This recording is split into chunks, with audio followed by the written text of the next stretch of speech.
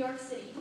In 1843, after believing to have had a religious revelation, she began to tour New York, Connecticut, and Massachusetts.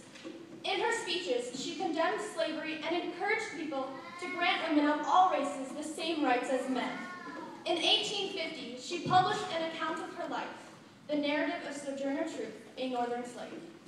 Truth is perhaps most famous for a speech she gave at a women's rights convention in Akron, Ohio in 1851. Members of the community shouted down other speakers at the meeting. Truth rose from her seat and silenced the heckers with a speech titled, Ain't I a Woman? The point of this speech was to show that fighting for equal rights for women with men was not enough. Other women, including African Americans, faced additional obstacles.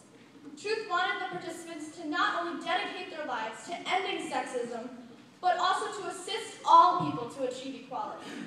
here are the words of her speech.